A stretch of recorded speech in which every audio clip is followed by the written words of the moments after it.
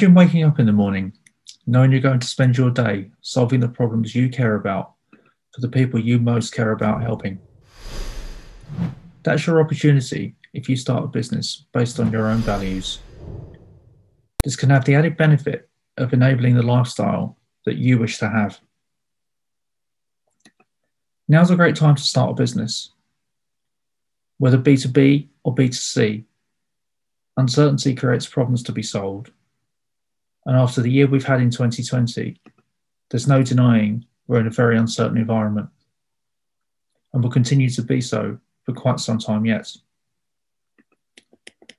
In a B2B environment, the unprecedented challenges mean many businesses won't have the skills in house to resolve the problems that they have. They also won't have the budgets or appetite for risk to take on staff permanently. In many ways, they never did have all the skills they need in house. You only need to glance at the supplier lists of any large company to realize that so much of what is done to enable a company to deliver is done by third party suppliers. With new ways of working and problems to be solved, this will only increase. In a B2C environment, 2020 has made customers more open to changing their buying habits and look for new solutions for the things that they need or want. In both scenarios, a startup has the competitive advantage of being nimble and able to move quickly. An example shared on episode two of my podcast, the Project Future podcast, showed one business owner launching a service the day it was conceived and delivering it within one week. Once you've determined your niche, you can move fast to make your presence known. The opportunity, the opportunity you have is underpinned by technology. If the pandemic had been even five years earlier, the technology wouldn't have been mature enough to enable businesses to manage it in the way that they have. Virtual meetings over things like Zoom and Microsoft Teams were adopted as standard ways of working in a matter of days Car payments are now standard for even the smallest of businesses. These are all changes that would have come in more slowly over the course of the coming decade. Leveraging this technology now is your opportunity. Be it to interact with your local community and grow awareness of your business, or to harness a global base of customers that want you to provide the solution to their problem. So, why project management? I've been a project manager since 2008. The frameworks and structures that I've learned have enabled me to analyze situations and quantify risk, not only as a professional, but in my personal life too.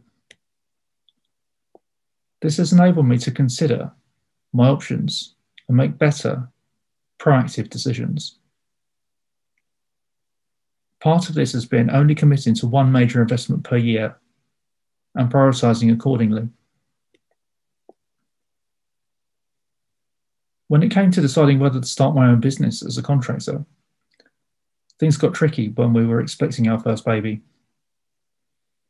It was clearly a risk to start a business in those circumstances. So it was one we quantified. We looked at my skills and the market we looked at our financial needs. We looked at whether my wife supported me making that decision. And we looked at the timing. Considering all of those things, we realised it was feasible whilst my wife was working full time, but not after the baby was born. I had to move soon and make the transition a success before the baby arrived or we might never have been in a position to justify the same risk again. So, almost immediately, I resigned and set about succeeding as a contractor, which, despite a nervy few weeks, I made happen. I believe mindset is the foundation to success as your own boss. You can have a great idea, but unless you're willing to do something about it, you'll always wonder, what if? As Henry Ford so famously said, if you think you can or you can't, you're right. Start with an open and honest self assessment of where you are. Consider your skills, experience, and interests. Consider how open to change you've been in the past and whether you've been proactive in seeking change or whether you've had to react as change has happened to you. Consider your perception and tolerance of risk. Then consider how tenacious you'll be to make it happen.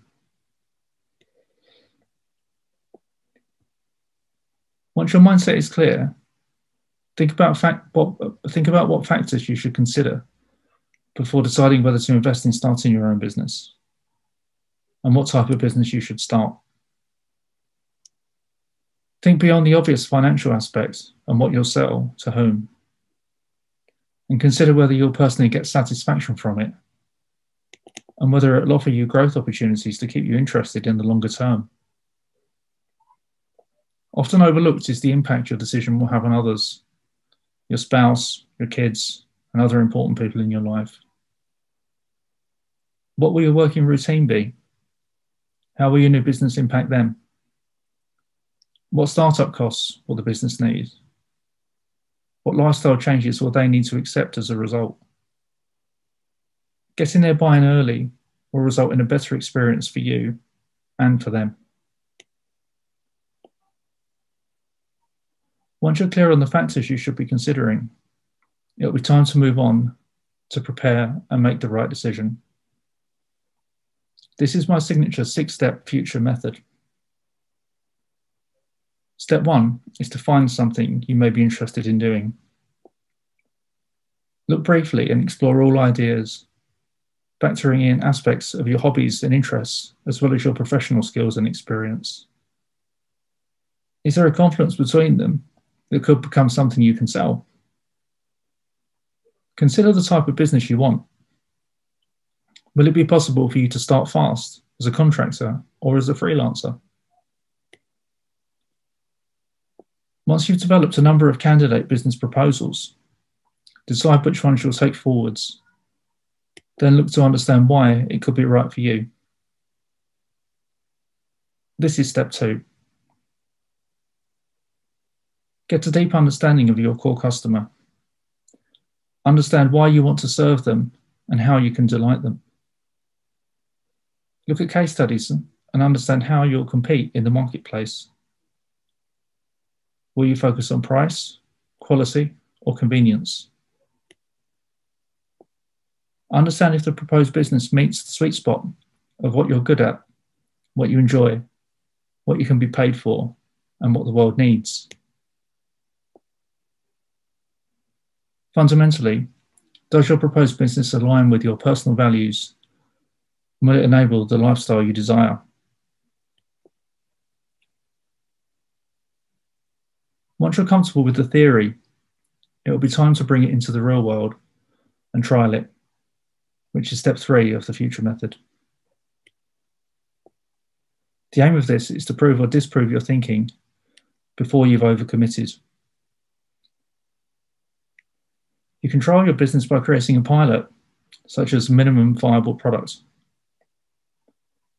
Perhaps do some volunteering in the space you want to enter, or create a side hustle alongside your job.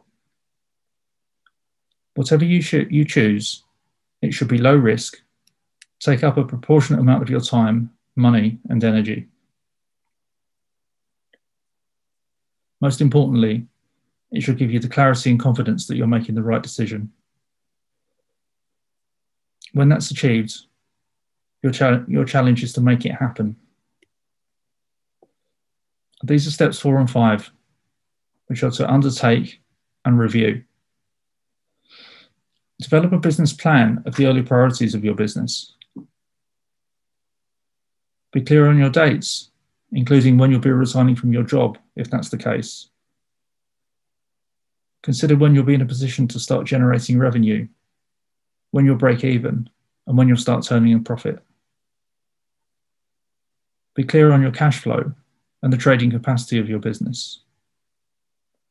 Think about your branding and marketing approach. When will you run campaigns during the year? How will you grow and maintain a network of leads, of customers, of suppliers and supporters? What will your working environment look like? To review alongside undertake is paramount to your success.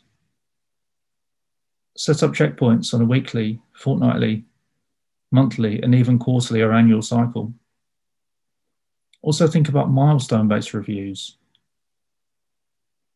This will help you not only check you're on the right track to meet your goals and objectives, but to ensure you're still aiming for the right goal. But in your reviews, you can also factor in your own self care and the impact the business is having on those key people in your life. When you get beyond the early life of your business, you'll move into the making it better phase through step six, which is to expand. Perhaps you'll pivot again. Perhaps you'll start to serve a new market or demographic. Perhaps you'll grow your profile through your own book or podcast. You'll only know what the right option is when you get there. So, what next?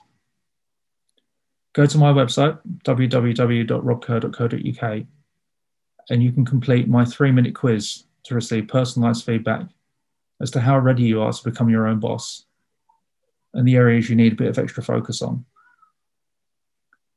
You can also read my book, Project Future Six Steps to Success as Your Own Boss, which is available now from all good booksellers. Look to set a goal and, most importantly, take action to make it happen. Monday morning is the most exciting time of my week as I get to time to solve the problems I most care about, which is empowering people to succeed as their own boss. I hope you can get clear and get into the same position where you can solve the problems you most care about.